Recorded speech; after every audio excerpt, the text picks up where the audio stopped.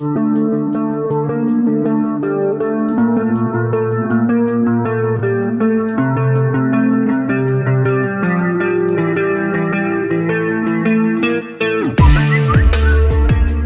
yo tengo un rastrojero desde el 2004. Cumplí mi sueño del rastrojero, motorhome, paseé, disfruté con mis dos hijos más grandes. Después me pasó de todo, tuve dos ACB, bueno, quedó ahí. Ahora con los dos hijos más chicos quiero volver a la aventura.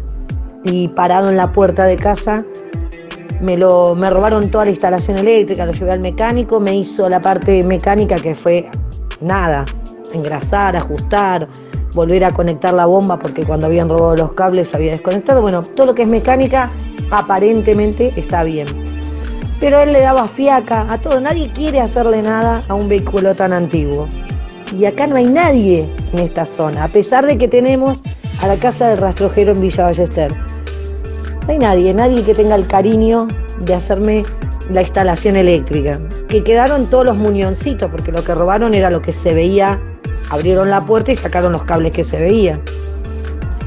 Y bueno, nada, quiero cumplir el sueño de con mis hijos más chicos hacer el, otra vez un viaje.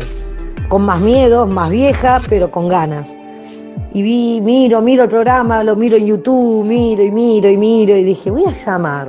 Por ahí me pasan un dato. Yo ya estaba por desistir, sacarle el rastrojero y tratar de comprar una rodeo, pero es que yo fui feliz con este rastrojero. Y yo quiero darles esto mismo a los nenes más chicos. Si me pueden ayudar, se los voy a agradecer muchísimo. Quiero hacerle todas las luces para que pueda pasar la BTV, llevarlo a ver qué me dicen. Tanto, imagínense que yo desde el año no había BTV cuando yo dejé de viajar con el motorhome. Y teniéndolo parado acá en la puerta porque no podía viajar, y nada, lo ploteé todo y, vendía comida desde adentro del motorhome. Pero bueno, nada, todo el mundo queriéndomelo comprar, paran, paran, paran y yo, no, no, que yo voy a volver a usarlo, voy a volver. Y es un motor tan noble que uno le pone gasoil y arranca. En algún momento, en algún viaje, ya no me acuerdo ni cómo era, se me rompió la bomba, aprendí, la arreglé, pero bueno, todo eso antes de tener los ACB y parecería que eso me, deterioró los recuerdos, la motricidad fina de los recuerdos de esas cosas. Por ahí volviendo a andar, a verlo, a estar ahí, me doy cuenta, pero todo lo que es mecánica está andando bien.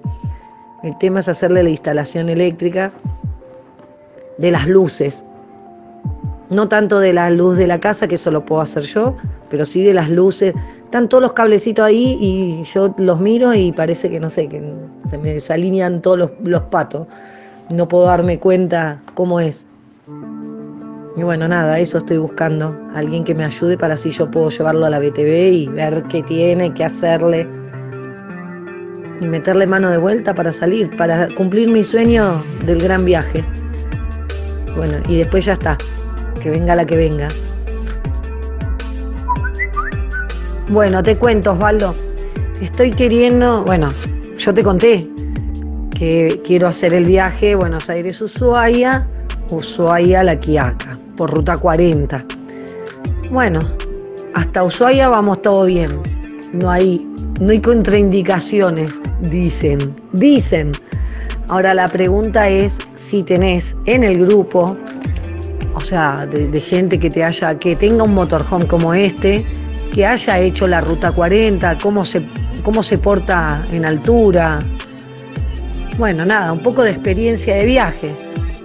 Nosotros, bueno, ahora lo estamos armando, va bien. El tema del armado, tengo ocho meses por delante, ocho meses menos, siete meses por delante para prepararme todo.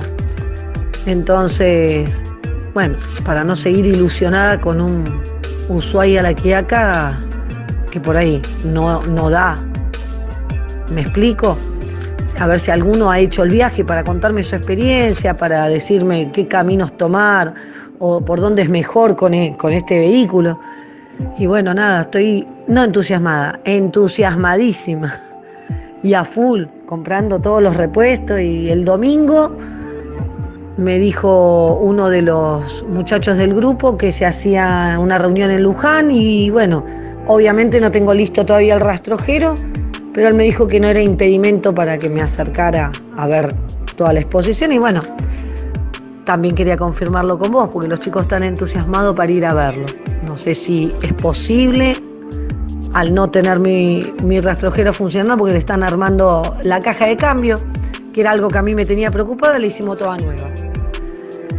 Y bueno, nada, más que contenta y feliz. Hoy estoy media, estaba media preocupada porque hablando así, viste, con el que comento, muchos me apoyan. Tito, el de la casa de repuesto, me dijo, yo te voy a dar un kit de repuestos para que vos no te pase nada en la ruta, que se rompa cualquier cosa y cualquiera te va a hacer el auxilio. Y bueno, la mejor onda del grupo, la verdad, espectacular. Hola, no, no hay problema. Eh, no, yo quería saber si había alguno de nuestro grupo, alguno que haya subido, compartido. Porque viste que vos tenés varios con casa rodante que hayan. que sea rastrojero porque lo demás por ahí, tengo miedo con el rastrojero, porque por ahí me dice, empiezo a comprar cosas para armarlo, porque estoy tan entusiasmada que la mecánica está yendo bien, que los muchachos del grupo se ocupan, que digo, y también me da vergüenza tirarla así al grupo de preguntar, como que quedo como una tóxica, y digo, pues les voy a preguntar a, Osvaldo y a la señora a ver si ellos conocen, como tenés el, el programa, y vi que hay varios que publican, pero viste que la mayoría es como que son fans de rastrojero medio, medio trucho, porque les cambian los motores y ya no son más un rastrojero. Tiene la carcasa del rastrojero, pero le cambian el motor y como que ya no es lo mismo. Entonces digo, por ahí alguno que vos conozcas que haya viajado por ahí. Bueno, voy a tirar esa, voy a poner en los grupos de Ruta 40 algún rastrojero que haya hecho el camino. Por eso yo te preguntaba a vos, porque como más que nada porque es el rastrojero. Yo creo que por ahí, venía la pregunta. No, son unos genios, enseguida se pusieron a buscar.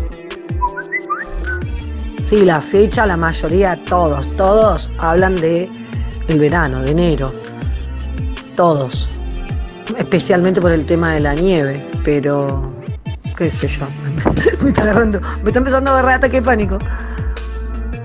Me parece que me voy con el jeep. No, no, el rastrojero va a llegar y de última lo ponemos en un camión y que lo lleve.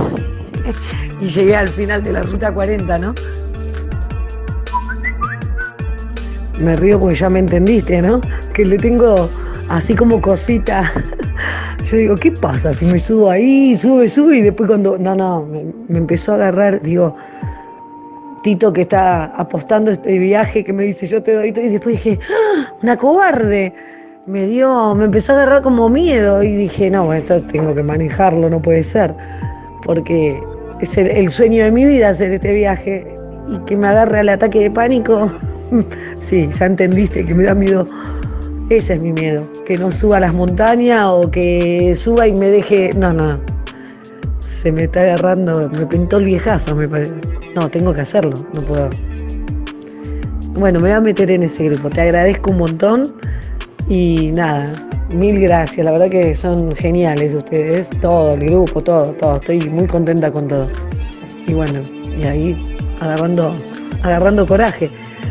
Yo después decía, por ahí me aconsejan, viste, que vaya practicando, porque esos caminos de las laderas, ah, de solo pensarlo, que el rastrojero me haga una secuencia de la que me hizo mm, yendo a Brasil, que no quería subir los morros, y digo, me, Imagínate que yo estoy mirando en YouTube toda la ruta y yo veo esos precipicios. ¿Alguno fue o soy una loca que me estoy mandando? Yo sé que hasta Ushuaia va bien el cuento, pero ¿será que, que realmente me, o, me estoy embarcando en un sueño imposible con el rastrojero, ¿no? Sí, yo, yo para mí el motor es fuerte, sí, pienso igual que vos pero y, eso que no sé de motores, pero hemos descubierto con Daniel, que es un mecánico excelente, un, loco que le encanta lo que hace, ama lo que hace, descubrimos que todo el gran problema de las subidas que yo he tenido, yo le dije, del minuto uno a mí me saltaba la caja de cambio, ¿no? Del minuto uno que lo compré. Y me dice, del minuto uno que el tipo te vendió el vehículo con la caja rota y, y todo lo que te lo miraron nadie te lo dijo. Tenías, eh, no, no la caja rota, sino el sincronizado, las trabas del sincronizado estaban gastadas. Entonces, eh, la primera y la segunda saltaba, y justamente la primera y la segunda la que más fuerza hace. Y me imagino el cuadro, dice, teniendo que no te salte el cambio, que el freno, que el freno de mano, o sea, te faltaban por lo menos una mano para todo el... Y demasiado que lo hiciste, o sea, un audaz, porque yo con esta caja, así como se encuentra, no vine a la esquina.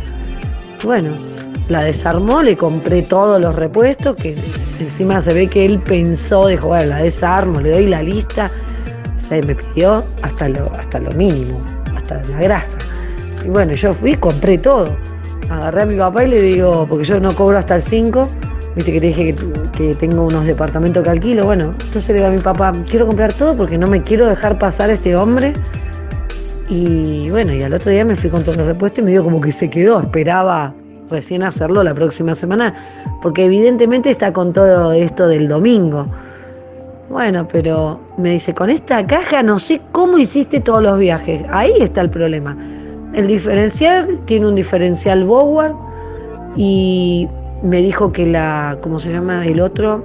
Eh, ay, barra de torsión. No, el cardán estaba mal puesto, entonces estaba haciendo un juego que todo eso hacía que la relación sea, bueno, te metieron mano, el que te la dieron mal, me dice, estaba mal armada. Bueno, imagínate que yo confianza ciega porque él es un genio. Si vieras en cuánto tiempo desarmó la caja, parecía de los de Fórmula 1 sacando las gomas. En un ratito. Y bueno, nada. Me dice, de bueno, ¿cuánto, va a ser el trabajo? No sé, después vemos, no. Después vemos, yo agarré, le di plata y me miró y le dijo al muchacho que me acompañaba, no esperaba que me dé plata. Y le digo, es que yo no voy a hacer otra cosa que dejar el rastrojero 100 puntos. Estoy en esto, si vos me decís que tengo que esperar, espero, pero agarré y pedí turno en la BTV, todo. Y me dice, no me digas que tenés turno. Y sí, le digo, yo como te vi desarmarla tan rápido, digo, me la va a armar rápido. Y bueno, ahí estaba Julio también. Me dice, si no, si vos ves que te retrasa, déjame que yo lo llamo. No, pero todos, todos re atentos, re ahí, ahí puestos para que se arme el vehículo. Así que bueno, nada.